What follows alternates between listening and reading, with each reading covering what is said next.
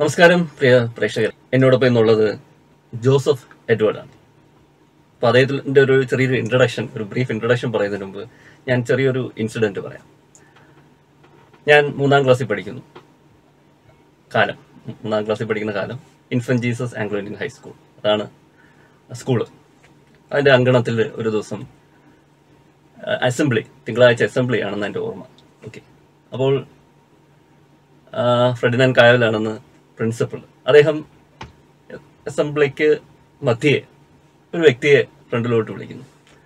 എനിക്ക് ഞാൻ എനിക്കൊന്ന് കുറച്ച് ദിവസം മുമ്പ് മറ്റോ യൂത്ത് ഫെസ്റ്റിവലോ മറ്റോ ആണെന്നാണ് എന്റെ ഓർമ്മ. അതിനകത്തൊരു നാടകം അരങ്ങേറിയിരുന്നു. മെർച്ചന്റ് ഓഫ് വെനസ് അതിൽ എനിക്കൊന്ന് ഒരു നല്ല നാടകമായിരുന്നു. അത് അതിനകത്തെ ഒരു കഥാപാത്രം ഷൈലോക്ക് എന്ന് പറഞ്ഞ കഥാപാത്രം.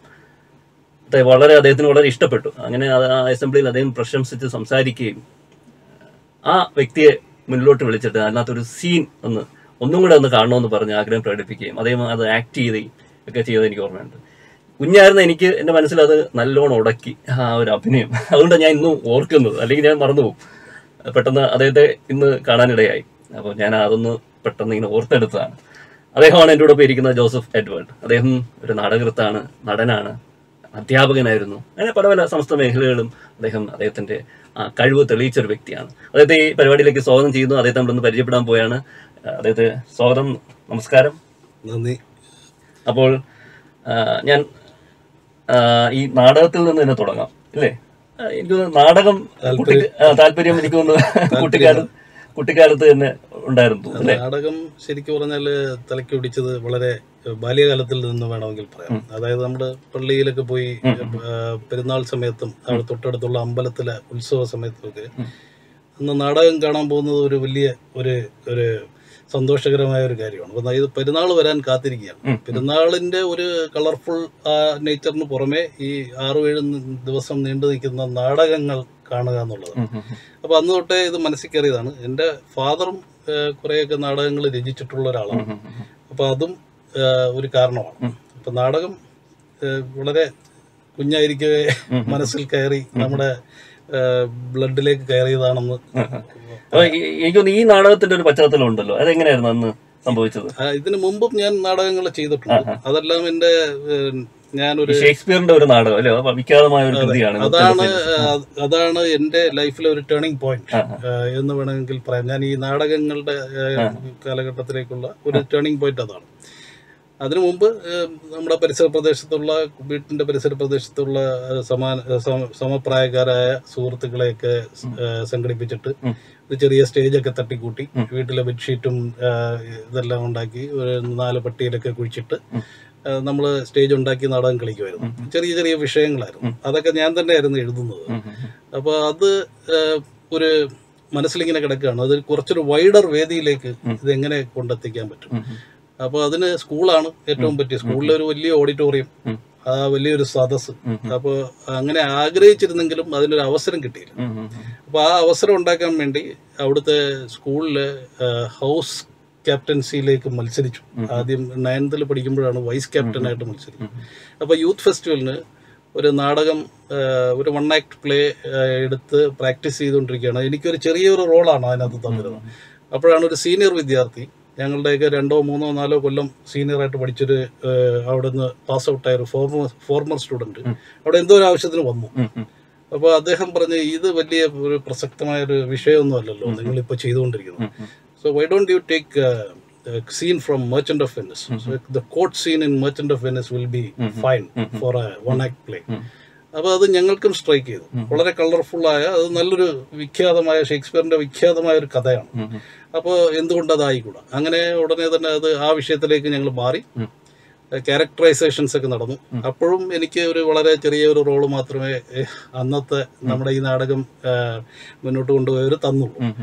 അപ്പോൾ അതിലെ ഷൈലോക്ക് എന്ന വേഷം ചെയ്യുന്നത് വളരെ ശാന്തനായ ഒരാളായിരുന്നു ആ കഥാപാത്രം ചെയ്യുന്നത്. അപ്പോൾ അദ്ദേഹം എത്ര ചെയ്തിട്ടും ശരിയാവാതെ വന്നപ്പോൾ എന്റെ ഉള്ളിലെ ഒരു നടൻ ഉണർന്നു എന്ന് വേണമെങ്കിൽ പറയാം. ഞാൻ പറഞ്ഞു ഞാനൊന്ന് കാണിച്ചു തരാം. ഒന്ന് നോക്കി അതുപോലെ. അങ്ങനെ എന്റെ ഒരു ഒരു ഡയലോഗ് ഞാൻ പ്രസന്റ് ചെയ്തപ്പോൾ അവർ പറഞ്ഞു ഇനി വേറെ ആരും വേണ്ട നീ മതി. എന്ന് പറഞ്ഞിട്ട് എന്നെ ഷൈലോക്ക് ആക്കി അങ്ങനെ ആ നാടകം ഞങ്ങൾ യൂത്ത് ഫെസ്റ്റിവലിൽ അവതരിപ്പിച്ചു. അതിന് വളരെ വലിയൊരു റെസ്പോൺസ് ആണ് അന്ന് കിട്ടിയത്. ഫസ്റ്റ് കിട്ടി എനിക്ക് ബെസ്റ്റ് ആക്ടർ അവാർഡ് കിട്ടി. പിന്നീട് ഇത് ഇത് ഫാദർ ഫെഡിനാൻ കായാവിൽ ഈ നാടകം കണ്ടിട്ട് അദ്ദേഹത്തിന് വളരെയധികം ഇഷ്ടപ്പെട്ടു. അപ്പോൾ അതിനെ തുടർന്ന് ഏതാണ്ട് മാസങ്ങൾക്കപ്പുറം അവിടെ school day celebrations every four ഇയേഴ്സിൽ വരുന്ന ഒരു സ്കൂൾ ഡേ സെലിബ്രേഷൻസ്. അതിന് ഈ നാടകം കുറച്ചുകൂടി. ഒന്ന് നല്ല രീതിയിൽ പെർഫോം ചെയ്യണം. അങ്ങനെ വീണ്ടും റിഹേഴ്സലും കുറച്ചുകൂടി നല്ല കോസ്റ്റ്യൂംസും ഒക്കെ ഇട്ട് ഒരു വലിയ വേദിയിൽ. അന്ന് കേന്ദ്രമന്ത്രിയായിരുന്ന എസ് കൃഷ്ണകുമാർ സുരേഷ് ഗോപി സിനിമയിലേക്ക് വരുന്ന സമയം വരുന്നത് ഇൻഫൻ ജീസസിലെ ഫോർമർ സ്റ്റുഡന്റ് ആയതുകൊണ്ട് അദ്ദേഹം ഉണ്ടായിരുന്നു. അങ്ങനെ ഒരു നിറഞ്ഞ കുറെ അധികം ചീഫ് ഗസ്റ്റുകളൊക്കെ ഉണ്ടായിരുന്ന ഒരു വേദിയിൽ ഇത് അവതരിപ്പിക്കുകയും വീണ്ടും ഈ നാടകം. അങ്ങനെ എന്റെ ആ കാലഘട്ടത്തിൽ എന്റെ സ്കൂളിലെ പേര് തന്നെ ജോസഫ് എഡ്വേർഡ് മാറി ഷൈലോക്ക് എന്നായി. മിസ്റ്റർ ബോണി കേട്ടത് കണ്ട സംഭവം. അത് എനിക്ക് വളരെ അതിശയകരമായിട്ട് തോന്നി. ഇപ്പൊ പത്ത് മുപ്പത്തഞ്ച് കൊല്ലം പത്ത് നാൽപ്പത് കൊല്ലമാണ് അപ്പൊ അത് ഇത്രയും കാലം അത് ഓർത്തിരുന്നു. അതുപോലെ തന്നെയാണ് ഇപ്പോഴും ഫാദർ കായാവൽ എന്നെ എവിടെ വെച്ച് കണ്ടാലും ഡാ ഷൈലോക്ക് സുഖമാണോ? എന്ന് ചോദിക്കുന്ന ഒരു അതുപോലെ ആ കാലഘട്ടത്തിലെ അധ്യാപകർ. എന്നോട് എന്നോടൊപ്പം പഠിച്ചിരുന്നവർ ഇവരെല്ലാവരും ഞങ്ങൾ പ്രൈവറ്റ് സ്പേസിൽ കാണുമ്പോൾ എന്നെ വിളിക്കുന്ന പേര് ഇപ്പോഴും അത് തന്നെയാണ്. ഓക്കെ ഓക്കെ അപ്പൊ ഞാൻ ഇപ്പോൾ ഇത് എനിക്കൊന്ന് വിളിക്കാൻ കാരണം ഞാൻ ഈ നാടകം ഇപ്പോൾ നമ്മൾ സംസാരത്തിൽ മധ്യ വന്നതാണ്. തിരുന്താന്തി തിരുന്താതി മണി മുഴങ്ങുമ്പോൾ ഈ നോവൽ ഞാൻ വായിക്കാനിടയായി. എന്റെ ഒരു അങ്കിൾ ഇത് പരിചയപ്പെടുത്തിയതാണ് അപ്പോൾ ഇത് ശക്തികുളങ്ങര ശക്തികുളങ്ങര എന്ന് പറഞ്ഞ ഒരു സ്ഥലത്തിന്റെ ചരിത്രവും പശ്ചാത്തലവും എല്ലാം ഇതിനകത്ത് കോർത്തിണക്കി വെച്ചിട്ടുണ്ട്. അപ്പോൾ ഇത് വളരെ നല്ലൊരു നോവലായിരുന്നു. അപ്പോൾ എല്ലാവർക്കും ആസ്വദിച്ച് വായിക്കാൻ പറ്റിയ ഒരു നോവലാണ്. അത് വായിച്ചപ്പോഴാണ് എനിക്ക് വിളിക്കാനായിട്ടുള്ളൊരു ആഗ്രഹം തോന്നിയത്. അപ്പോൾ ഞാൻ സ്മരിക്കുകയാണ് എന്റെ അങ്കിളിനെ ഒന്ന് സ്മരിക്കുകയാണ്. അത് ജോൺ ബെർണാഡ് അദ്ദേഹം എനിക്ക് വീൽ ചെയറിൽ കഴിയുന്ന ഒരു വ്യക്തിയാണ്. അപ്പോൾ അദ്ദേഹം നല്ലൊരു വായനക്കാരനാണ്. അദ്ദേഹമാണ് എനിക്ക് പുസ്തകം തന്നത്. അപ്പോൾ ഇപ്പോൾ എനിക്ക് എനിക്കൊന്ന് ഈ അദ്ദേഹം എനിക്ക് തന്നിരിക്കുകയാണ് ഇത് സമ്മാനിച്ചിരിക്കുകയാണ്. അപ്പോൾ മൂന്ന് കോപ്പിയുണ്ട് മൂന്ന് പുസ്തകങ്ങളുണ്ട് അതായത് അത് അതിലോട്ടൊക്കെ നമുക്ക് കടന്നു വരാം. അപ്പോൾ നമുക്ക് ഈ നോവലിലോട്ടൊന്ന് പതുക്കെ ഒന്ന് എത്തി നോക്കാം. കുറച്ച് അല്ലേ? ഇത് ആക്ച്വലി ബേസിക്കലി എനിക്ക് വായിച്ചപ്പോൾ തോന്നിയത് ഇത് എനിക്കൊന്ന് ശക്തിയുളങ്ങരയിലെ ചരിത്രത്തിന്റെ നാഴിക കല്ലുകൾ ഇങ്ങനെ കവർ ചെയ്യാണ്. ഓരോ ചരിത്ര മുഹൂർത്തങ്ങൾ ഇങ്ങനെ കവർ ചെയ്യാം അതിനുവേണ്ടി ബേസിക്കലി ഒരു അണ്ടർഗ്രൗണ്ട് ആയിട്ട് ഒരു അണ്ടർലൈൻ ചെയ്യുന്ന ഒരു ഒരു ബാക്ക്ഗ്രൗണ്ടിൽ ഒരു ഒരു ഒരു ഒരാളുടെ വളർച്ച ഫ്രം റാക്സ് ടു റിച്ചസ് എന്ന് വേണമെങ്കിൽ പറയാം. അത്തരത്തിലുള്ള ഒരു വളർച്ച കാണിച്ചിട്ട് അദ്ദേഹത്തിലൂടെ ചരിത്രം പറയാമെന്ന് എനിക്ക് തോന്നി വായിച്ചപ്പോൾ. എന്താണ് എന്താണ് ഇതിന്റെ ഒരു പ്രചോദനം? ആക്ച്വലി ഈ എനിക്ക് ചോദിക്കേണ്ട ചോദ്യം എന്ന് പറയുന്നത് ചരിത്രമാണോ ആദ്യം മനസ്സിലോട്ട് വന്നത്? അതോ ഒരു കഥയാണോ ആദ്യം ആദ്യം മനസ്സിലോട്ട്? ചരിത്രം പറയണം എന്നാണോ ആദ്യം തോന്നിയത്? ഇങ്ങനെയായിരുന്നു അതിന്റെ ഒരു തുടക്കം ഈ നോവലിന്റെ തുടക്കം. കഥ കഥ കഥാരചന. എന്ന് പറയുന്നത് എപ്പോഴും നമ്മളുടെ അനുഭവങ്ങളിലും നമ്മുടെ മനസ്സിൽ മായാതെ കിടക്കുന്ന ചില കളർഫുൾ ആയിട്ടുള്ള ഫ്രെയിംസിൽ നിന്നുമാണ് നമുക്ക് ഏറ്റവും കൂടുതൽ എഴുതാനുള്ള ഇൻസ്പിറേഷൻ കിട്ടുന്നത്. അപ്പം ഞാൻ വളരെ ചെറുതായിരിക്കുന്ന സമയം മുതൽ ധാരാളം വായിക്കുന്ന ഒരു ശീലമുണ്ടായിരുന്നു. കാരണം എന്റെ ഫാദർ കൊല്ലം കോർപ്പറേറ്റ് മാനേജ്മെന്റിലെ അധ്യാപകനായിരുന്നു. അപ്പോൾ അദ്ദേഹം ധാരാളം പുസ്തകങ്ങൾ വാങ്ങിച്ചു തരുമായിരുന്നു. അപ്പോൾ അതിനകത്ത് അമർചിത്ര കഥ മുതൽ കാരൂരിന്റെ കാരൂരിന്റെ കഥകളും എം ടിയുടെ നോവലുകളും ഒക്കെ ഉണ്ടായിരുന്നു. അപ്പോൾ അപ്പം മുതലേ ഇതിന് എഴു എന്നെങ്കിലും ഒരു രചന. പ്രത്യേകിച്ച് നാടകങ്ങളല്ല. നാടകങ്ങൾ ഞാൻ എന്റെ കൂടെ എപ്പോഴും ഉള്ളതാണ്. അല്ലാതെ ഒരു കഥയോ നോവലോ ഒക്കെ രചിക്കണമെന്നുള്ള ഒരു ഒരു ആഗ്രഹം മനസ്സിലുണ്ടായിരുന്നു അപ്പോൾ അത് വളരെ വൈകി രണ്ടായിരത്തി ഇരുപത്തിരണ്ടിലാണ് ഈ തിരുന്താതിമണി എന്ന് മുഴങ്ങുമ്പോൾ എന്ന പുസ്തകം പ്രസിദ്ധീകരിച്ചത്. അപ്പോൾ ഒരു മൂന്നാൽ വർഷം എടുത്തിട്ടാണ് ഇത് എഴുതിയത്. അപ്പോൾ മനസ്സിൽ എന്റെ നാടിന്റെതായ കുറേയധികം കാര്യങ്ങൾ ഞാൻ കണ്ടതും. കേട്ടതും. എനിക്ക് മുമ്പേ ഉള്ള കാര്യങ്ങൾ എന്റെ മാതാപിതാക്കളും മറ്റ് മുതിർന്നവരും ഒക്കെ പറയുന്നത് കേട്ടത് കാര്യങ്ങൾ വളരെ ഇൻട്രസ്റ്റിംഗ് ആയിട്ടുള്ള കാര്യങ്ങൾ. ആ നാട്ടിൽ നടന്ന സംഭവങ്ങളാണ്. അതിങ്ങനെ മനസ്സിന്റെ മനസ്സിലൊരു കളർഫുൾ ഫ്രെയിംസ് ആയിട്ട് ഇങ്ങനെ ഉം. അപ്പോൾ ഒരു നോവൽ രചിക്കുക എന്നുള്ള ഒരു ചിന്തയിലേക്ക് വന്നപ്പോൾ. ആദ്യം ഈ നമുക്ക് ചിരപരിചിതമായ ആ ഒരു സാഹചര്യം വെച്ചുകൊണ്ട് തന്നെ ഒരു കഥ എഴുതുക എന്നുള്ള ഒരു തോട്ടിലേക്ക് പോയി. അതായത് വളരെ സംഭവബഹലമായ ഒരു കഥാപശ്ചാത്ത ഒരു കഥാപ്രതലമാണ്. എന്റെ ജന്മനാടായ ശക്തികുളങ്ങരയും. അതുപോലെ കേരളത്തിലെ തന്നെ ഏറ്റവും വലിയ മത്സ്യബന്ധന തുറമുഖമായ നീണ്ട നീണ്ട നീണ്ടകര. അപ്പൊ ഈ കഥയിൽ ഈ കഥയുടെ പ്രതലം എന്ന് പറഞ്ഞാൽ നീണ്ടകര തെക്കേക്കരയും വടക്കേക്കരയുമാണ് ഇത് യഥാക്രമം തെക്കേക്കര ശക്തികുളങ്ങരയും വടക്കേക്കര നീണ്ടകരയുമാണ് അപ്പൊ ഇതിനെ വേർതിരിക്കുന്ന നീണ്ട പാലം. അത് നീണ്ടകരയാണ് അപ്പോൾ വളരെ വലിയൊരു സംസ്കാരവും. ഒരു പശ്ചാത്തലവും ഒക്കെ ഉള്ള പ്രദേശങ്ങളാണ് ഈ രണ്ട് തീരപ്രദേശങ്ങൾ. അപ്പൊ ഈ രണ്ട് തീരപ്രദേശങ്ങളുടെ ആയിരത്തി എണ്ണൂറ്റി തൊണ്ണൂറ് മുതൽ. ഏതാണ്ട് ആയിരത്തി തൊള്ളായിരത്തി തൊണ്ണൂറുകളുടെ മധ്യഭാഗം വരെയുള്ള അവിടെ നടന്നിട്ടുള്ള വലിയ വലിയ സംഭവങ്ങൾ. അതായത് ദുരന്തങ്ങൾ ഉണ്ടായിട്ടുണ്ട് കടൽ ദുരന്തങ്ങൾ മഹാമാരികൾ. വറുതിക്കാലങ്ങൾ. അതുപോലെ ഒരു ഒത്തിരി വിദ്യാഭ്യാസപരമായിട്ടുള്ള മുന്നേറ്റങ്ങൾ നടന്നിട്ടുണ്ട്. ചെറിയൊരു ഗ്രാ ഗ്രാമപ്രദേശമായിരുന്നുവെങ്കിലും ആയിരത്തി തൊള്ളായിരത്തി അൻപതിൽ അവിടെ ഒരു വീട്ടിൽ നിന്ന് തന്നെ മൂന്ന് പി എച്ച് ഡി മൂന്ന് ഡോക്ടറേറ്റ് ഹോൾഡേഴ്സ് ഉണ്ടായിരുന്നു. അപ്പോൾ ഇങ്ങനെയൊക്കെയുള്ള വലിയ വലിയ കാര്യങ്ങൾ എന്തുകൊണ്ട് ഇത് കോർത്തിണക്കി ഒരു പുസ്തകമാക്കി മാറ്റിക്കൂടാ എന്ന ചിന്തയിലേക്ക് പോകുന്നു അപ്പോൾ ഇത് ചരിത്രമായി പറഞ്ഞു പോയി. ചരിത്രം പലരും എഴുതിയിട്ടുണ്ട് ഈ പ്രദേശത്തെ കുറിച്ച് ചരിത്രം മുൻ മുൻപേ രചിക്കപ്പെട്ടിട്ടുള്ളതാണ്. പക്ഷെ അതൊന്നും വ്യാപകമായ രീതിയിൽ ഇന്നത്തെ ജനറേഷനിലേക്ക് വായനക്കാരിലേക്ക് അവരെ ഒരു ഇൻട്രസ്റ്റ് ചെയ്യുന്ന രീതിയിലേക്ക് കൊണ്ടുവരാൻ ചരിത്ര രചനകൾക്ക് കഴിഞ്ഞിട്ടില്ല. അപ്പോഴാണ് ഞാനിത് ഒരു ഫിക്ഷണലൈസ് ചെയ്ത്. ഒരു നോവലാക്കി മാറ്റാമെന്നുള്ള ഒരു ചിന്ത എന്റെ മനസ്സിൽ. അപ്പോൾ അത് നമ്മൾ അത് കമ്പയർ ചെയ്യുമ്പോഴത്തേക്ക് ഇതിനു മുൻപേ എഴുതിയിട്ടുള്ള പല രചനകളും. ഇപ്പോൾ അത് വലിയ വലിയ എഴുത്തുകാരുടെ രചനകളായാൽ പോലും. അവരൊക്കെ തന്നെ ഒരു മയ്യഴി പുഴയുടെ തീരത്ത്. ആ അവിടെ ഉണ്ടായ സംഭവ വികാസങ്ങളെ കോർത്തിണക്കിക്കൊണ്ട് ഉണ്ടായിട്ടുള്ള കഥകൾ. അതുപോലെ പല കഥകളും. എന്തുകൊണ്ട് എന്റെ പ്രദേശത്തെ കേന്ദ്രീകരിച്ച് ഒരു നോവൽ ആയിക്കൂടാ. എന്നുള്ള ചിന്തയാണ് ഈ തിരുന്താതിമണി മുഴങ്ങുമ്പോൾ എന്ന നോവലിൽ. എത്തി നിൽക്കുന്നത് തിരുന്താതിമണി എന്ന് പറയുന്നത് ഈ അത് പറയുമ്പോൾ ആ പേര് പറയുമ്പോൾ തന്നെ അതിനകത്തൊരു പ്രാദേശിക സ്വഭാവമുണ്ട് അല്ലേ? അതിനകത്ത് അവിടുത്തെ ഒരു ശക്തികുളങ്ങരയിലെ ചെറിയൊരു ഡിക്ഷൻ ഉണ്ട്. പദങ്ങൾ പ്രയോഗങ്ങളുണ്ട് അല്ലെങ്കിൽ സ്ലാങ് ഉണ്ട്.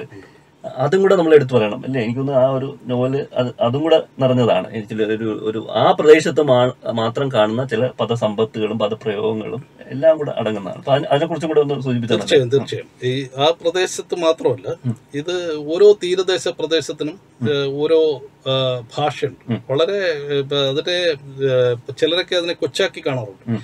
പക്ഷേ വളരെ അമൂല്യമായ പദങ്ങൾ അവിടങ്ങളിൽ ഉപയോഗിച്ചിരുന്നു എന്നുള്ളതാണ്. ഒരു പോർച്ചുഗീസ് ഇൻഫ്ലുവൻസിന്റെ ഫലമായിട്ട് ഉദാഹരണത്തിന് ഈ ഈ നോവലിലെ ഏറ്റവും മുതിർന്ന ഒരു കഥാപാത്രം സാറ മാന എന്നാണ് ഈ കഥാപാത്രത്തെ സംബോധന ചെയ്തത്. സാറ എന്നാണ് പേര്. നായകനായ വില്യമിന്റെ ഗ്രാൻഡ് മദറാണ് മുത്തശ്ശിയാണ് സാറ മാന. മാന എന്ന് എന്നുള്ളത് പോർച്ചുഗീസ് പദമാണ്. അപ്പൊ അത് റെസ്പെക്റ്റോടു കൂടി മുതിർന്ന സ്ത്രീകളെ സംബോധന ചെയ്തിരുന്ന ഒരു വാക്കാണ്. അപ്പൊ അങ്ങനെയുള്ള ഒട്ടനവധി വാക്കുകൾ അതായത് ഇപ്പൊ നമ്മൾ ഉപയോഗിക്കുന്ന സെറാമിക്സ് പ്ലേറ്റുകൾക്ക് വസി എന്നാണ് പറയുന്നത്. അതുപോലെ നമ്മൾ ഉദ്ദേശിക്കുന്ന ബൗൾ അത് കോപ്പ.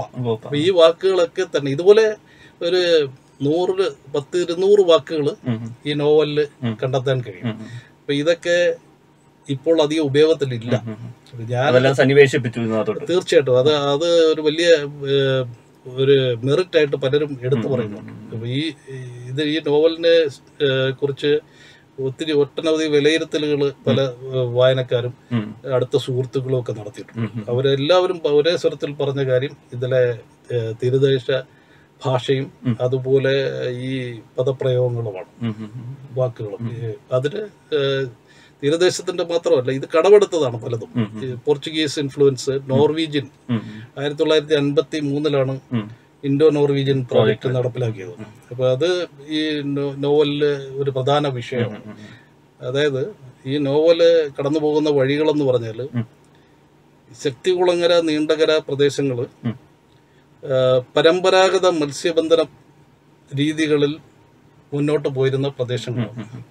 അപ്പോൾ ആ പരമ്പരാഗത മത്സ്യബന്ധനം എന്ന് പറഞ്ഞാൽ സാധാ വള്ളങ്ങൾ ഉപയോഗിച്ച് കടലിൽ പോവുകയും കടലിന്റെ കരയിൽ നിന്ന് വല വീശി മീൻ പിടിക്കുകയും അതുപോലെ ചൂണ്ടയിട്ട് മീൻ പിടിക്കുകയും ഒക്കെയാണ് പരമ്പരാഗത മത്സ്യബന്ധന അപ്പോൾ അതിൽ നിന്നും ആയിരത്തി തൊള്ളായിരത്തി അൻപത്തി മൂന്നിലാണ് നമ്മുടെ പ്രധാനമന്ത്രി അന്ന് പ്രധാനമന്ത്രിയായിരുന്ന ജവഹർലാൽ നെഹ്റു പഞ്ചവത്സര പദ്ധതികളിൽ ഉൾപ്പെടുത്തി ഈ തീരദേശ വികസനം തീരദേശ മത്സ്യബന്ധന മേഖലയുടെ സമ സമഗ്രമായ വികസനത്തിന് വേണ്ടി ഇൻഡോ നോർവീജിയൻ നോർവീജിയൻ ഗവൺമെന്റ് ഈ മത്സ്യബന്ധന മേഖലയിൽ അന്നത്തെ ഏറ്റവും മികച്ച സാങ്കേതിക വിദ്യകൾ ഉണ്ടായിരുന്ന നോർവീജിയൻ ഗവൺമെന്റുമായിട്ട് ചേർന്ന് ഇൻഡോ നോർവീജിയൻ പ്രോജക്റ്റ് നടപ്പിലാക്കാൻ വേണ്ടി കേരളത്തിലെ തീരദേശ പ്രദേശങ്ങളിൽ ഒരു വ്യാപകമായ ഒരു സ്റ്റഡി നടത്തി ഒരു കമ്മിറ്റിയെ വെച്ചിട്ട്.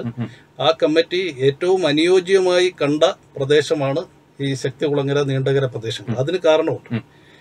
ഈ പ്രദേശങ്ങൾ തീരപ്രദേശങ്ങളും മത്സ്യബന്ധന മേഖലയും ആയിരുന്നെങ്കിൽ മേഖലയുമായിരുന്നെങ്കിൽ പോലും സാംസ്കാരിക തലത്തിലും കുറച്ചൊക്കെ വിദ്യാഭ്യാസ തലത്തിലും ഒക്കെ ഉയർന്ന പ്രദേശമായിരുന്നു. താരതമ്യേന മറ്റ് തീരദേശ പ്രദേശങ്ങളെ അപേക്ഷിച്ച് ആൾക്കാർക്ക് അവിടെ ഈ കാര്യങ്ങൾ മനസ്സിലാക്കാനും. അതുപോലെ നാച്ചുറലായിട്ടുള്ള ഒരു ഹാർബർ. നാച്ചുറലായിട്ടുള്ള ഒരു ഒരു ഹാർബർ ഓൾറെഡി അവിടെ ഉണ്ട്. പിന്നെ ഒരു അഴിമുഖം. അപ്പൊ ഇങ്ങനെയൊക്കെ ഉള്ള ഒത്തിരി ഭൂമിശാസ്ത്രപരമായിട്ടും സാംസ്കാരികമായിട്ടുള്ള പ്രത്യേകതകൾ കൊണ്ടാണ് ഇൻഡോ നോർവീജിയൻ പ്രോജക്റ്റ് നടപ്പിലാക്കാൻ ഈ പ്രദേശത്തെ. തിരഞ്ഞെടുത്തത്. അപ്പോൾ ഈ പെട്ടെന്ന് പരമ്പരാഗതത്തിൽ നിന്ന് യന്ത്രവൽകൃത മത്സ്യബന്ധനത്തിലേക്കുള്ള ഒരു പരിണാമം അത് ഈ സമൂഹത്തിന്റെ മൊത്തത്തിലുള്ള ഒരു പരിണാമത്തിന് വഴിതെളിച്ചു എന്ന് നിസ്സംശയം പറയാം. കാരണം എന്ന് പറഞ്ഞാൽ. സാമ്പത്തികമായ വലിയൊരു വ്യതിയാനത്തിന് ഒരു വൻ പുരോഗതിക്ക് പെട്ടെന്ന് പെട്ടെന്നുള്ള ഒരു ട്രാൻസ്ഫോർമേഷനാണ്. അതായത് മെല്ലെപ്പോക്കല്ല.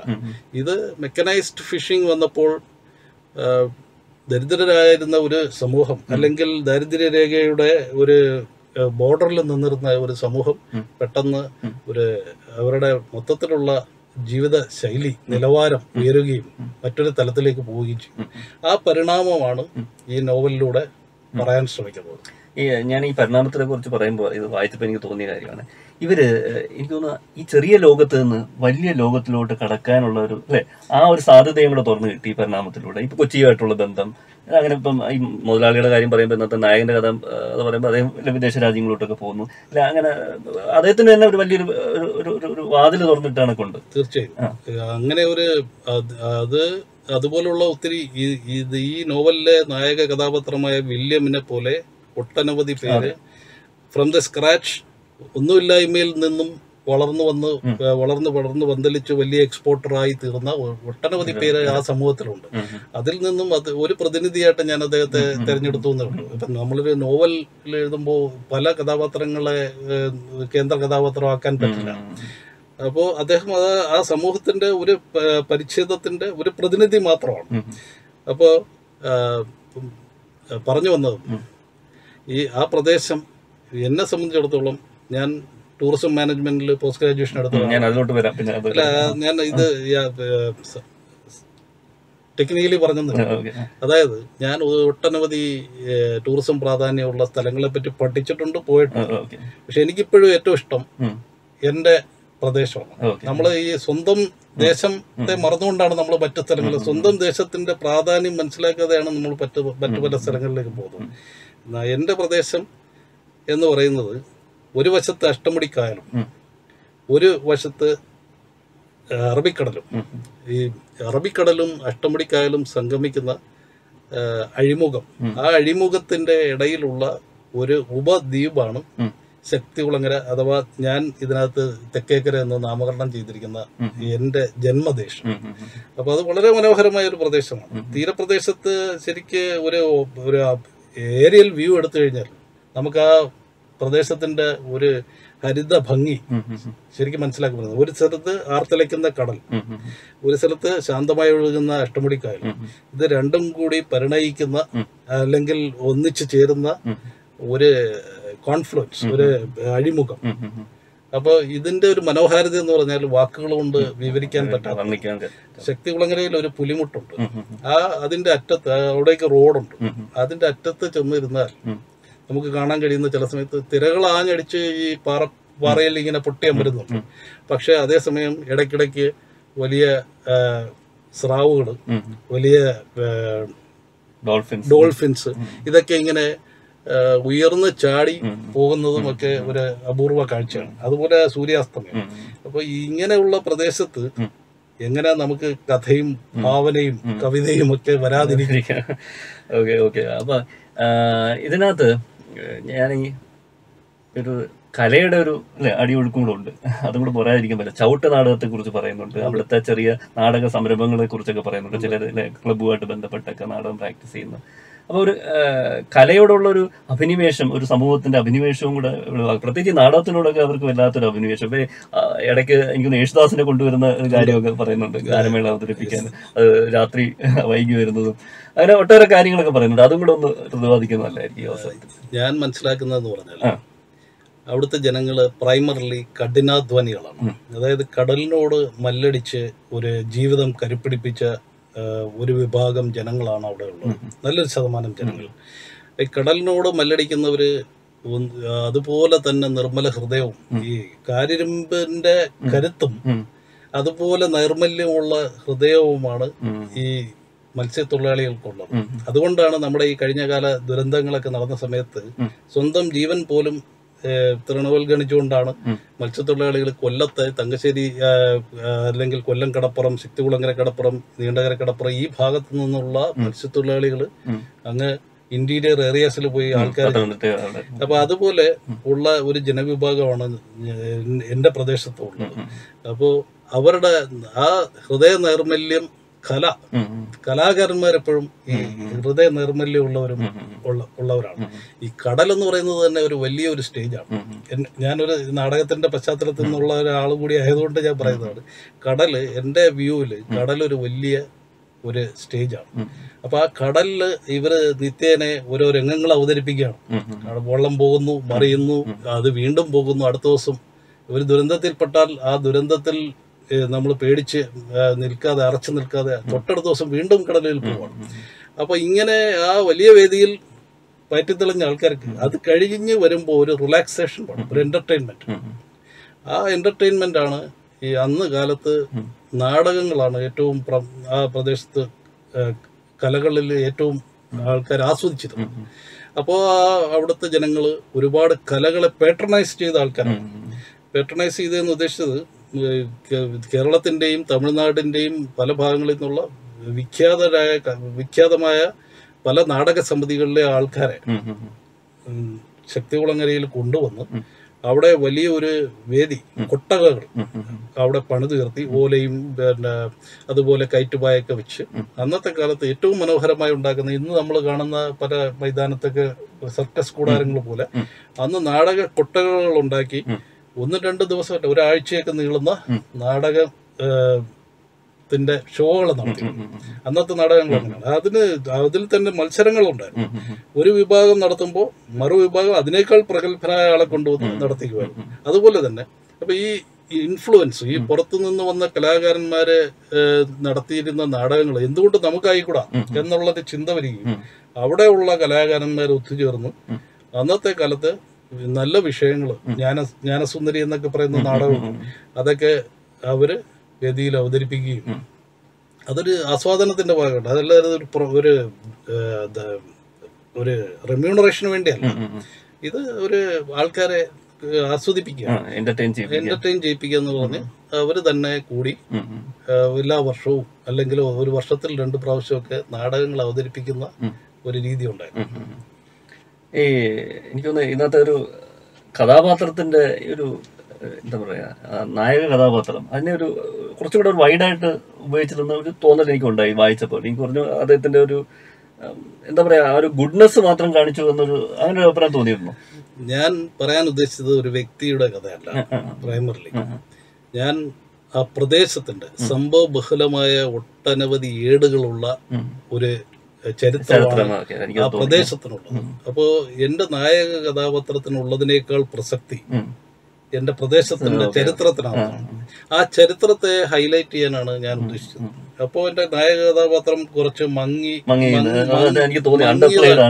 അണ്ടർപ്ലേഡ് അദ്ദേഹത്തിന്റെ അദ്ദേഹം നമുക്കിപ്പോ ജീവിച്ചിരുന്ന ചില വ്യക്തി വ്യവസായികളോടൊക്കെ സാമ്യം തോന്നാം. പക്ഷേ അതല്ല ഞാൻ ഉദ്ദേശിച്ചത്. ആ വ്യക്തിയുടെ ഒരു ജീവിത കഥയല്ല ഞാൻ പറയാൻ ഉദ്ദേശിച്ചത്. ഞാൻ പറയാൻ ഉദ്ദേശിച്ചത് ആ പ്രദേശത്തിന്റെ യന്ത്രവൽക യന്ത്രവൽക്ക പരമ്പരാഗത മത്സ്യബന്ധന രീതിയിൽ നിന്ന് യന്ത്രവൽകൃത ഒരു മത്സ്യബന്ധന വ്യവസായത്തിലേക്ക് ഉള്ള പരിണാമത്തിൽ ജനങ്ങൾക്ക് സംഭവിച്ച മാറ്റങ്ങൾ. അതിനിടയിൽ നടന്ന പ്രമാദമായ സംഭവം.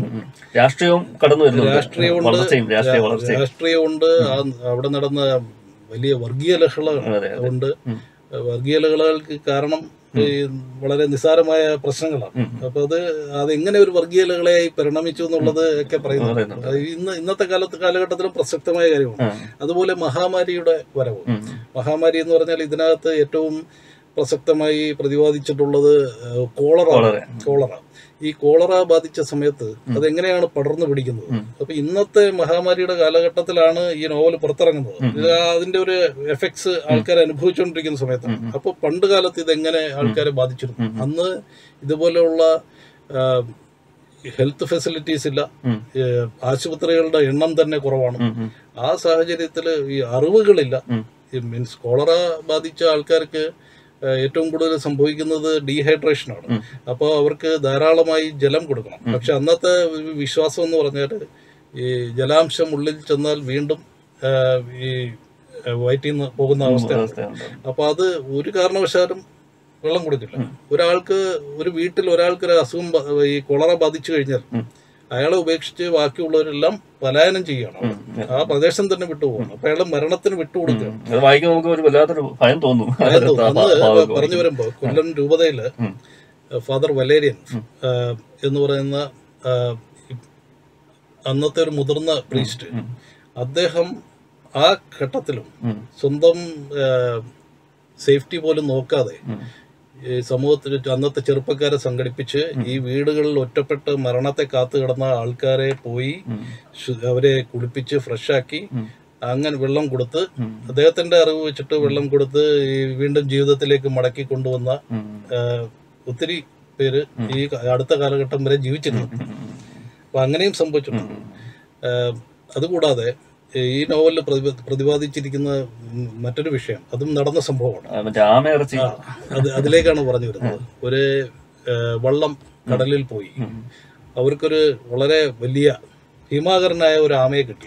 ആമയുടെ തോടൊക്കെ എന്ന് പറഞ്ഞാൽ വളരെ അതിമനോഹരമായ ഈ പുള്ളികളും ചിത്രകല ഒരു ചിത്രകാരൻ വരച്ചു വെച്ചിരിക്കുന്ന രീതിയിൽ അതിമനോഹരമായ പളുങ്കാമ എന്നാണ് ആ ആമയുടെ പേര് തന്നെ. അതിമനോഹരമായ ഒരു പുറന്തോടുള്ള ഒരു ഭീമാകരനായ ആമയെ കിട്ടി. അപ്പൊ അന്നൊക്കെ ഒരു തീരപ്രദേശത്ത് ആരുടെയെങ്കിലും വള്ളത്തിൽ ഒരു ആമയെ കിട്ടിക്കഴിഞ്ഞാൽ. ഈ ആമ ഒരു ആൾക്കാര് വളരെ സ്വാദിഷ്ടമായി എല്ലാ ദിവസവും അല്ല വല്ലപ്പോഴും വാങ്ങിച്ച് നല്ല വറുത്തരച്ച കറിയൊക്കെ വെച്ച് ഉപയോഗിക്കുന്ന ഒരു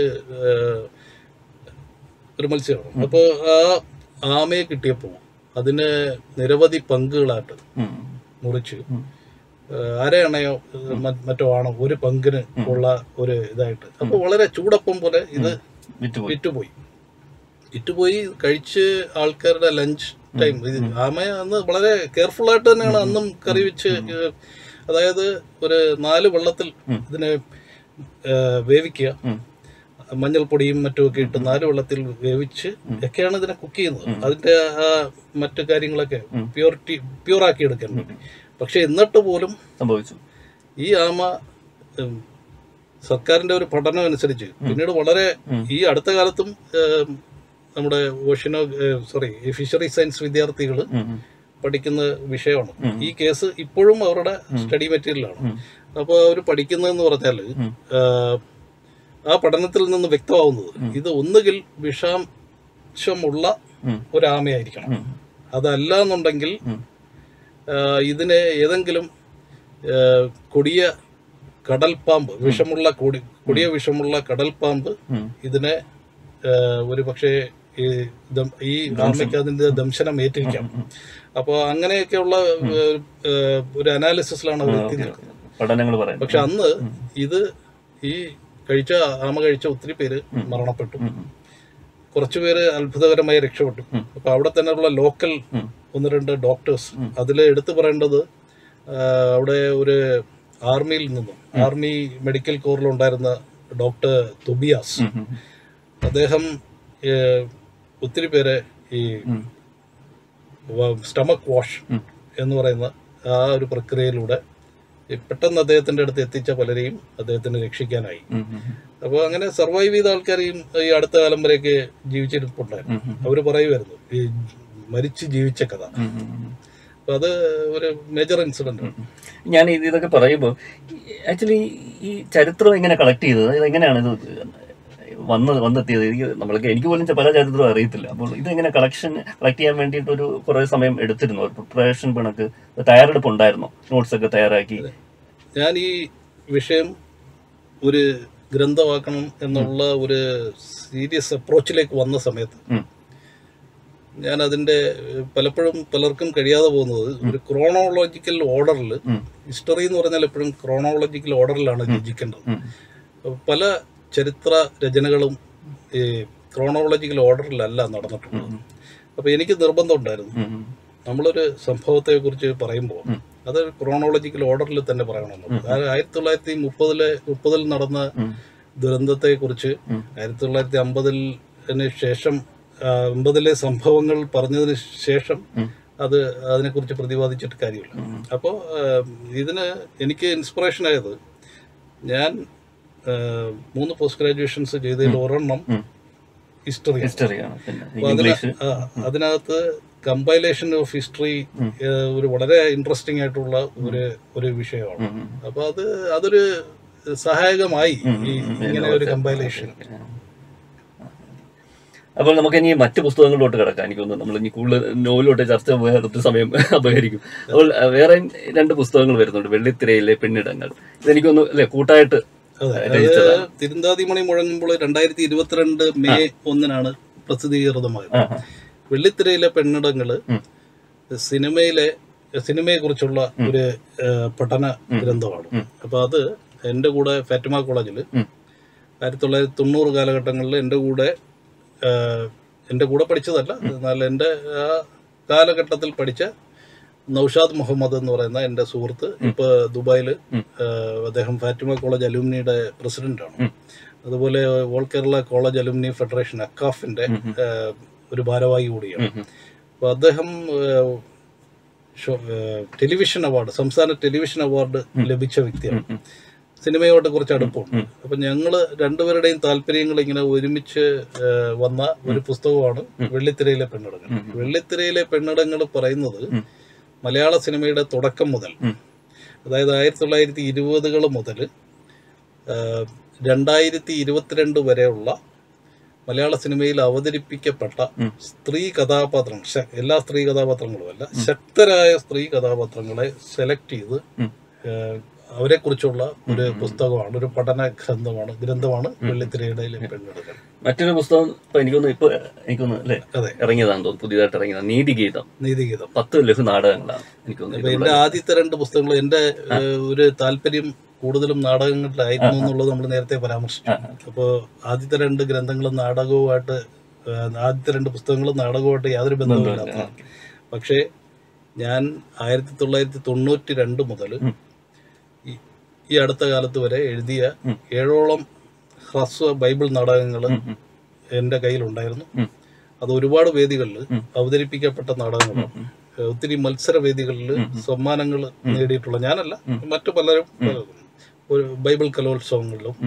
അതുപോലെ കത്തോലിക്ക സഭയുടെ മാത്രമല്ല ജാക്കോബൈറ്റ് സഭ. അവര അവരാണ് ഈ നാടകം ഷാർജ സെന്റ് മേരീസ് ജാക്കോബൈറ്റ് ചർച്ചിൽ ഉം. അവരൊരു ഒരു ഒരു വിഭാഗം കലാകാരന്മാർ. അവർ ഷാർജ നാടക സമിതി എന്ന് പറഞ്ഞിട്ട്. അവരാണ് ഇതിലെ ഏഴ് നാടകങ്ങൾ. തുടർച്ചയായി അഭിനയിക്കുകയും അവരുടെ രൂപതയിൽ പരക്കെ അംഗീകാരം കിട്ടുകയും ചെയ്തതാണ്. അപ്പോൾ എന്റെ കയ്യിൽ ഈ ഏഴ് നാടകങ്ങളുടെ പല യൂട്യൂബിലൊക്കെ വളരെയധികം വ്യൂവർഷിപ്പ് കിട്ടിയ നാടകങ്ങളാണ് അപ്പോൾ ഈ നാടകങ്ങൾ എന്തുകൊണ്ട് ഒരു പുസ്തകമാക്കി മാറ്റിക്കൂടാ എന്ന് ഞാൻ ചിന്തിക്കും അത് കുറച്ചുകൂടി അതിനെ ഒരു സാഹിത്യ രൂപത്തിലാക്കി പുതിയ മൂന്ന് നാടകങ്ങൾ കൂടി ചേർത്ത് ഞാൻ നീതിഗീതം നീതിഗീതം അത് സമാഹാരത്തിലെ ഒരു നാടകമാണ്. നീതിഗീതം എന്ന നാടകം നമ്മുടെ സോളമൻ രാജാവിന്റെ ഒരു വിഖ്യാതമായ ന്യായവിധിയാണ്. ഉം, ഉം, ഉം. രണ്ട് അമ്മമാര് ഒരു കുഞ്ഞിന് വേണ്ടി അവകാശവാദം ഉന്നയിക്കുന്ന ആ ഒരു വിഷയത്തെ ആ ഒരു ന്യായവിധിയെ ഒരു നാടകമാക്കി അപ്പൊ ഈ അതെന്നെ എനിക്ക് വളരെ ഇഷ്ടപ്പെട്ട ഒരു നാടകമാണ്. ഈ സമാഹാരത്തിലെ ഒരു വളരെ എഴുതിയ ഇഷ്ടപ്പെട്ട ഒരു നാടകമായതുകൊണ്ട് അതിന്റെ പേര് ഈ പുസ്തകത്തിന് നൽകി. നൽകി. അതാണ് ഇത് ഇപ്പൊ ഈ രണ്ട് ദിവസം മുന്നേ. സൂര്യ കൃഷ്ണമൂർത്തി പ്രകാശനം ചെയ്തു. അദ്ദേഹത്തിന്റെ നാടക സൂര്യ നാടക കളരിയിൽ വെച്ച് പ്രകാശനം ചെയ്തു. അപ്പോഴാണ് അത് ഇതൊക്കെയാണ് പുസ്തകങ്ങളെ കുറിച്ച് പറയാനുള്ളത്. അപ്പോൾ ഞാൻ ഇങ്ങനെ റെസ്യൂമിലൂടെ പോയപ്പോൾ എനിക്ക് മൂന്നാൽ മൂന്ന് വർഷത്തോളം പി ജി എടുത്തിട്ടുണ്ട്. ഹിസ്റ്ററി അല്ലേ? എനിക്ക് ഹോസ്പിറ്റൽ ഹോസ്പിറ്റാലിറ്റി ആണ് തോന്നുന്നു. ടൂറിസം ടൂറിസം ഹിസ്റ്ററി ഇംഗ്ലീഷ് അല്ലേ? അതെ അപ്പം എങ്ങനെയാണ് ഈ ഇത്രയും വിഷയങ്ങളോടുള്ള ഒരു അഭിരുചി എങ്ങനെയാണ് അത് എങ്ങനെയാണ് രൂപപ്പെട്ടത്? ഈ ഒരു ബോധപൂർവം എടുത്താണോ അത് വളരെ നാച്ചുറൽ ആയിട്ട് വന്നാണോ? ഓർഗാനിക് ആയിട്ട്? ബോധപൂർവം എന്ന് തന്നെ പറയാം. നമ്മൾ ചെയ്യുന്ന ഓരോ പ്രവൃത്തിയും ബോധപൂർവം തന്നെയാണ്. ചിലര് ഇങ്ങനെ പഠിക്കാൻ ആഗ്രഹമുള്ളതുകൊണ്ട് ഇങ്ങനെ ഓരോന്ന് പഠിച്ചു പോകില്ല അങ്ങനെ അല്ലല്ലോ. ഞാൻ എന്റെ ഗ്രാജുവേഷൻ ഇംഗ്ലീഷ് ലിറ്ററേച്ചറാണ് അപ്പോ അപ്പോൾ എനിക്ക് ഈ പി ജികൾ ഓരോന്നോരോന്ന് ചെയ്തത് ബോധപൂർവം തന്നെയാണെന്ന് പറഞ്ഞല്ലോ അത് അക്കാഡമിക് ഇൻട്രസ്റ്റ് ഉണ്ട്. ശരി ശരിക്കും ഈ പഠനത്തോടുള്ള താല്പര്യം കൊണ്ട് തന്നെയാണ് ഇപ്പൊ ചില ഘട്ടങ്ങളിൽ ഇത് റെഗുലറായിട്ട് കൊണ്ടുപോകാൻ നമുക്ക് നമ്മുടെ സാഹചര്യങ്ങൾ നമ്മൾ അനുവദിച്ചില്ല. പക്ഷെ ഉള്ളിൽ ഇതിങ്ങനെ ആ ഒരു ഇച്ഛാഭംഗം കിടക്കുകയാണ്. എനിക്ക് എന്തോ എനിക്ക് അതായത് ഗ്രാജുവേഷൻ കഴിഞ്ഞ് പി ജിക്ക് ജോയിൻ ചെയ്യുന്നതിന് പകരം അന്ന് എനിക്ക് മെറിറ്റിൽ എന്റെ പേര് അവിടെ എം എക്ക് എം എ ലിറ്ററേച്ചറിന് ഉണ്ടായിരുന്നു. പക്ഷെ അന്ന് എനിക്ക് പഠനം തുടർന്നു കൊണ്ടുപോകാൻ കഴിയാത്തൊരവസ്ഥയാണ് അപ്പോൾ ഞാൻ ജോലിക്ക് പോവുകയും ഉം, ഉം, ഉം. പ്രൈവറ്റ് ആയിട്ട് ഉം, ഉം. മാസ്റ്റേഴ്സിനെ ജോയിൻ ചെയ്യുകയാണ് അപ്പൊ ആ അതുകൊണ്ടാണ്. ആ ഒരു ഇച്ഛാഭംഗി ഇങ്ങനെ കിടക്കുന്നത് അപ്പൊ അത് മേ ബി ഇനി അനദർ ഒരു ഒരെണ്ണം ചെയ്തു കൂടായികയില്ല. പഠനത്തിന് എപ്പോഴാണെങ്കിലും അത് അതൊരു അഹങ്കാരത്തിന് വേണ്ടിയൊന്നും അല്ല അല്ല ഇത് ഇതിനെ ഇതൊരു അത് ഇത് ഇതിനെപ്പറ്റി പലർക്കും അറിയില്ല. ഞാൻ അങ്ങനെ ആരോടും പറയാറുമില്ല. ഇത് എന്റെ പുസ്തകം എഴുതിയപ്പോൾ അതിനകത്ത് സ്വാഭാവികമായി എന്നെ കുറിച്ച് ഒരു വിവരണം അതിനകത്ത് വന്നപ്പോ അതിന്റെ കൂട്ടത്തിൽ വന്നു. അല്ല അത് വേണം. തീർച്ചയായിട്ടും പലർക്കും അതൊരു പ്രയോജനമാണ് പഠനം ഇങ്ങനെ തുടരാം എന്നുള്ളൊരു പ്രക്രിയയാണ്. ടൂറിസം മാനേജ്മെന്റിലേക്ക് ഞാൻ പോയത്. ആക്ച്വലി ഞാൻ എന്റെ ഗ്രാജുവേഷൻ കഴിഞ്ഞ് ഒരു കൊല്ലം ഞാൻ ഇൻഫെൻജിസ് സ്കൂളിലെ ഒരു അധ്യാപകനായിരുന്നു. അത് കഴിഞ്ഞ് ഞാൻ KITTS Kerala institute of tourism and travel studies അവിടെ ഒരു post graduate diploma in tourism management ചെയ്തിരുന്നു. അതിനെ തുടർന്ന് എനിക്ക് ആലപ്പുഴ ടൂറിസം പ്രൊമോഷൻ കൗൺസിലിൽ മാർക്കറ്റിംഗ് മാനേജറായിട്ട്. ഞാൻ ഒരു കൊല്ലം ജോലി ചെയ്തു. ആ സമയത്താണ് ഞാൻ ഈ ടൂറിസത്തിന്റെ തന്നെ ഹയർ ക്വാളിഫിക്കേഷൻ നേടിയ നേടുന്നതിനെ കുറിച്ച് ചിന്തിക്കുകയും അങ്ങനെ അതിനകത്ത് മാസ്റ്റേഴ്സ് ചെയ്യുകയും ചെയ്തു. ഒരു ഇപ്പൊ ടൂറിസത്തെ പറയുമ്പോൾ അന്നത്തെ അധ്യാപനം അല്ലെ? കുറച്ച് നാൾ പഠിപ്പിക്കുകയും ചെയ്തു തോന്നുന്നില്ലേ ഫാറ്റിമ കോളേജിലെ ഗസ്റ്റ് ലെക്ചർ അതെ തീർച്ചയായിട്ടും. അതൊരു എന്റെ ലൈഫിലെ ഒരു ശ്രദ്ധിക്കപ്പെടുന്ന വലിയ സാമ്പത്തിക മെച്ചമൊന്നും ഉണ്ടായിരുന്നില്ലെങ്കിൽ കൂടി ഞാൻ ഒട്ടനവധി അനുഭവങ്ങൾ എനിക്ക് ഉണ്ടായിട്ടുള്ള ഒരു ഒരു കാലഘട്ടമാണ്. അതായത് ഞാൻ ഞാൻ ടൂറിസത്തിലേക്ക് വരുന്ന സമയത്ത് ഒരു ടൂറിസം ബൂം സ്റ്റാർട്ട് ചെയ്ത് വരുന്ന ടൈമാണ്. കുറച്ചുകൂടി കഴിഞ്ഞപ്പോഴത്തേക്ക് ഈ ടൂറിസത്തിലേക്ക് ആധികാരികമായ പി ജി കോഴ്സുകളൊക്കെ പി ജി ഡിഗ്രി കോഴ്സുകളൊക്കെ സ്റ്റാർട്ട് ചെയ്ത സമയത്ത് പല എഡ്യൂക്കേഷണൽ ഇൻസ്റ്റിറ്റ്യൂഷൻസ് കോളേജസിലും യൂണിവേഴ്സിറ്റികളിലും മറ്റുമൊക്കെ ഇതിനുള്ള അധ്യാപകർ കുറവായിരുന്നു. അങ്ങനെയുള്ള ഒരു കാലഘട്ടത്തിലാണ് നമ്മുടെ ഫാറ്റിമ കോളേജിൽ ബികോം ടൂറിസം ട്രാവൽ മാനേജ്മെന്റ് എന്ന് പറയുന്ന ഒരു ഗ്രാജുവേഷൻ കോഴ്സ് സ്റ്റാർട്ട് ചെയ്യും. അന്നത്തെ അതിന്റെ കോർഡിനേറ്റർ ആയിരുന്ന സ്റ്റാൻലി നൊറോണ സാറും അന്നത്തെ കോളേജിൽ കോളേജിൽ പ്രിൻസിപ്പളായിരുന്ന പ്രൊഫസർ ജി എൻട്രിയും എന്നെ അതിന്റെ ഒരു ഗസ്റ്റ് ഫാക്കൽറ്റി ഗസ്റ്റ് ഫാക്കൽറ്റി എന്ന് തന്നെ ഗസ്റ്റ് ഫാക്കൽറ്റികളായിരുന്നു അന്ന് കൂടുതലുണ്ട് കോളേജിലെ അധ്യാപകരും അതുപോലെ കൊമേഴ്സിന്റെ വിഷയങ്ങളിൽ കോളേജിലെ അധ്യാപകരും ടൂറിസത്തിന് ഞങ്ങൾ പുറത്തുനിന്ന് ഇൻഡസ്ട്രി എന്നുള്ള രണ്ട് രണ്ടോ മൂന്നോ പേരും ഉണ്ടായിരുന്നു. ആ കൂട്ടത്തിൽ ഒരാളായിരുന്നു ഞാൻ. അത് ഞാൻ നാലര കൊല്ലത്തോളം ഏതാണ്ട് നാല് ബാച്ചുകളെ ഇറങ്ങുന്നത് വരെ പഠിപ്പിച്ചു. അത് കഴിഞ്ഞ് കോളേജ് ആ കോഴ്സ് ഡിസ്കണ്ടിന്യൂ ചെയ്തു. അപ്പോൾ സ്വാഭാവികമായും നമ്മളും ഒക്കെ മറ്റു വഴികളിലേക്ക് പോയി. ഈ നാടക സൗകര്യം തുടരുന്നുണ്ടെന്ന് തോന്നുന്നു അവിടെ ഗൾഫിൽ ചെന്നിട്ടും നാടകം ഈ ഗൾഫ് എന്ന് പറയുന്നത് എന്റെ കരിയർ പ്ലാനിങ്ങിൽ ഇല്ലാതിരുന്ന ഒരു കാര്യമാണ്. ഒരു ഞാനൊരു പ്രവാസിയാകേണ്ടി വന്നത്. അപ്പോൾ പ്രവാസി ആയപ്പോൾ എന്റെ കലാപ്രവർത്തനങ്ങളെല്ലാം അസ്തമിക്കും എന്ന് ഞാൻ മനസ്സിൽ ആശങ്കപ്പെട്ടുകൊണ്ടിരുന്ന ഒരു സമയത്താണ്. ഞാനൊരു അന്ന് ഞാൻ പോയി ഒരു കൊല്ലം കഴിഞ്ഞ ഒരു കൊല്ലം അടി- അടി- അടുപ്പിച്ചു വരുന്ന ഒരു സമയത്താണ്. എന്റെ എന്റെ നാട്ടുകാര് ശക്തികുളങ്ങര ബ്രദേഴ്സ് അസോസിയേഷൻ എന്ന് പറഞ്ഞ എസ് ബി എ ഒരു സംഘടന. അബുദാബിയിലുണ്ട്. ഒരു വളരെ പാരമ്പര്യമുള്ള ഒരു സംഘടനയാണ്. പത്ത് നാൽപ്പത് കൊല്ലത്തോളം അത് രൂപീകൃതമായിട്ട് ഓൾറെഡി ആയി. അപ്പൊ അവിടെ ഒരു നാടകം അവതരിപ്പിക്കാൻ വേണ്ടി ഷാർജയിൽ ജോലി ചെയ്യുന്ന കുറേയധികം സഹോദരങ്ങൾ അവർക്കൊരു നാടകം അവതരിപ്പിക്കാൻ അവർ പ്ലാൻ ചെയ്തു. അപ്പോൾ ആരോ എന്നെക്കുറിച്ച് ഞാനിവിടെ ദുബായിലുണ്ട് എന്ന് എന്നെ കുറിച്ച് പരാമർശിക്കുകയും അങ്ങനെ അവർ എന്നെ ബന്ധപ്പെട്ട് ഞാനൊരു അന്നൊരു കമ്പനി അക്കോമഡേഷനിലാണ് ഞാൻ താമസിക്കുന്നത്. അപ്പോൾ ആ സമയത്ത് ഞാൻ ഇപ്പോഴും ഓർക്കുന്നുണ്ട് ഞാനൊരു ഞാൻ എന്റെ സൂട്ട് കേസിന്റെ മുകളിൽ പേപ്പർ വെച്ചിട്ടാണ് ഞാൻ ആ നാടകം എഴുതിയത്. അങ്ങനെ ആ നാടകം വളരെ അവർ അവരവിടെ അവതരിപ്പിച്ചു. ഞാൻ എഴുതി കൊടുത്തു അവർ തന്നെ അത് പ്രിപ്പയർ ചെയ്തു. സംവിധാനം ചെയ്തു. അവർ അവതരിപ്പിച്ചു. അവർക്ക് അവതരിപ്പിച്ചു. അവിടുത്തെ നിറഞ്ഞ കാണികൾ അവരെ നല്ല രീതിയിൽ പ്രോത്സാഹിപ്പിക്കുകയും ഒട്ട് ഒട്ടനവധി ആദരവൊക്കെ അവർക്ക് ലഭിച്ചിരുന്നു. അപ്പൊ അങ്ങനെ ഇരിക്കവേ ആ നാടകം കഴിഞ്ഞു. പിന്നെയും ഒരു കൊല്ലം കഴിഞ്ഞപ്പോൾ ഇതേ ഓർഗനൈസേഷനിലുള്ളവർ തന്നെ എന്നെ വിളിച്ചു. അങ്ങനെ ഞാൻ രണ്ട് നാടകങ്ങൾ മീൻസ് അതൊക്കെ ഈ സാമൂഹികമായിട്ടുള്ള വിഷയങ്ങളെ കോമഡിയും അങ്ങനെയൊക്കെയുള്ള ഒരു തുടർച്ചയായി ഓരോ വർഷങ്ങളിൽ വീണ്ടും രണ്ട് നാടകങ്ങൾ അവതരിപ്പിച്ചു. തുടർന്ന് അവിടുത്തെ ജാക്കോബൈറ്റ് ചർച്ചുകാർ അവർക്ക് എല്ലാ വർഷവും ഹാർവസ്റ്റ് ഫെസ്റ്റിവൽ നടക്കും അപ്പോൾ അവരുടെ ഓരോ യു എയിലുള്ള ഓരോ എമിറേറ്റുകളും പങ്കെടുക്കുന്ന മത്സരമുണ്ട്. ആ മത്സരത്തിന് ഷാർജയെ പ്രതിനിധീകരിച്ച് പങ്കെടുക്കുന്ന അതിന് നാടകം വേണമെന്ന് പറഞ്ഞിട്ട് അവരെന്നെ സമീപിച്ചു. ആ വർഷം ചെയ്തപ്പോൾ അവിടുത്തെ നാടകങ്ങളിൽ ഏറ്റവും മികച്ചത് എന്റെ നാടകമാണ്. തുടർന്ന് ഇപ്പോൾ ഏഴ് കഴിഞ്ഞ ഏഴ് വർഷങ്ങളിൽ അവർക്ക് വേണ്ടി നാടകം ചെയ്തു. കോവിഡ് കാലഘട്ടത്തിൽ അവർക്ക് നാടകം ചെയ്യാൻ പറ്റാത്തതുകൊണ്ട് അവർക്കൊരു ഷോർട്ട് ഫിലിം ചെയ്യണം എന്ന് പറഞ്ഞു. എനിക്ക് യാതൊരു ബന്ധമില്ലാത്ത കാര്യമായിരുന്നു. ഞാൻ അതിനും ഒരു തിരക്കഥ എഴുതി സംവിധാനവും ചെയ്തു. സംവിധാനം ചെയ്തു.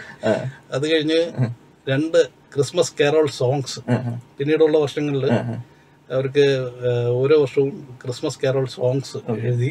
അതും അവർ അവർ നല്ല രീതിയിൽ മ്യൂസിക് ഒക്കെ ചെയ്തു. അതിപ്പോഴും അത്യാവശ്യം പ്രചാരത്തിലുണ്ട്. Okay okay okay. അപ്പോൾ ഈ ഈ ഗ്രന്ഥത്തിന്റെ കാര്യം പറയുമ്പോൾ കുറെ അവാർഡുകളും ലഭിച്ചല്ലോ? ഇതിന് കുറച്ചൊക്കെ അംഗീകാരം കിട്ടിയ പുസ്തകമാണ്. ഇപ്പോഴും ഒന്ന് രണ്ട് അവാർഡുകൾക്ക് കൊടുത്തിട്ടുണ്ട്. ഇത് ആദ്യമായി ഇതിന് കിട്ടുന്ന അംഗീകാരം ഒരു അടയാളം സാംസ്കാരിക സമിതി എന്ന് പറഞ്ഞിട്ടുണ്ട്. പിന്നീട് അഷ്ടജലറാണി പുരസ്കാരം. അതിനുശേഷം നമ്മുടെ രൂപതയുടെ Latin Catholic Kerala Catholic league. അതിന്റെ ഒരു മയ്യനാട് എ ജോൺ പുരസ്കാരം. അതിനുശേഷം എഴുത്തുകൂട്ടം കേരളത്തിലെ എഴുത്തുകാരുടെ മുഖ്യധാരയിലുള്ള എഴുത്തുകാരുമുണ്ട് അല്ലാത്തവരുണ്ട് എഴുത്തുകാരുടെ ഒരു വലിയ സംഘടനയാണ് എഴുത്തുകൂട്ടം. ആ എഴുത്തുകൂട്ടത്തിന്റെ പ്രവാസി സാഹിത്യ പുരസ്കാരം. പിന്നീട് ജെ ജെ അലക്സാണ്ടർ ഐ എസിന്റെ പേരിലുള്ള ഒരു സാഹിത്യ പുരസ്കാരം.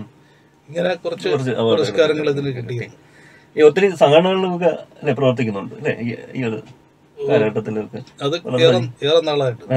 നമുക്ക് ജീവിതം ഒരിക്കലല്ലേ ഉള്ളൂ. നമ്മൾ നമ്മുടെ ജോലിയും നമ്മുടെ വീട്ടുകാര്യങ്ങളുമായിട്ട് മാത്രം ഒതുങ്ങി കഴിഞ്ഞാൽ നമുക്ക് എന്താ ഒരു നമ്മളിവിടെ ഉണ്ടായിരുന്നു എന്നുള്ളതിന് ഒരു അടയാളപ്പെടുത്തൽ വേണമല്ലോ അപ്പൊ നമ്മുടെ സമയം പൊതുസമൂഹത്തിനും കൂടി വേണ്ടി കുറച്ചെങ്കിലും ചെലവഴിക്കുക എന്നുള്ള ഒരു ആശയത്തിൽ വിശ്വസിക്കുന്ന ഒരാളാണ് ഞാൻ. അപ്പൊ ഞാൻ നാട്ടിൽ പ്രവാസിയാകുന്നതിന് മുന്നേ നാട്ടിൽ ഉണ്ടായിരുന്ന സമയത്ത് ശക്തികുളങ്ങരയിലെ ഏറ്റവും വലിയ സാംസ്കാരിക സംഘടനയായിരുന്നു അന്നത്തെ കാലത്ത് സാഗര സാംസ്കാരിക സംഘം. അതിന്റെ ജനറൽ സെക്രട്ടറി ആയിട്ട് ഞാൻ രണ്ടു കൊല്ലം പ്രവർത്തിച്ചു. ഞാൻ ടൂറിസത്തിൽ ഉണ്ടായിരുന്ന സമയത്ത് ഫാറ്റിമ കോളേജിൽ ടൂറിസം പഠിപ്പിക്കുന്ന സമയത്ത് ഞാൻ ഒരു ടൂറിസം ക്ലബ്ബ് കൊല്ലത്തുണ്ടാക്കിയിരുന്നു. അപ്പോൾ ആ ഒരു ആ പ്രവർത്തിച്ചിരുന്ന കാലഘട്ടങ്ങളിൽ ഞാൻ അതിന്റെ ചെയർ ചെയർപേഴ്സൺ ആയിരുന്നു. പിന്നീട് ഷാർജ കേന്ദ്രീകരിച്ച് ഞാൻ രണ്ട് മൂന്ന് പ്രവാസി സംഘടനകളിൽ അംഗമാണ്. അവിടുത്തെ ഏറ്റവും വലിയ ഷാർജയിലെ ഏറ്റവും വലിയ പ്രവാസി സംഘടനയാൽ ഷാ- ശക്തികുളങ്ങര പ്രവാസി അസോസിയേഷൻ ഷാർജ സ്പാസ്. അതിന്റെ സ്ഥാപക ജനറൽ സെക്രട്ടറി ആയിരുന്നു. പിന്നീട് അതിന്റെ പ്രസിഡന്റ് ആയിട്ട് രണ്ടു കൊല്ലം ഇരുന്നു. ആ കാലഘട്ടത്തിൽ ഇവിടുത്തെ ഇവിടെ ശക്തി ശക്തികുളങ്ങരയെ വെച്ച് ഒരു വലിയൊരു പ്രവാസി ഫെസ്റ്റ് സംഘടിപ്പിച്ചു. കെ പി എസ് സി ലളിതായിരുന്നു അന്നത്തെ മുഖ്യാതിഥി.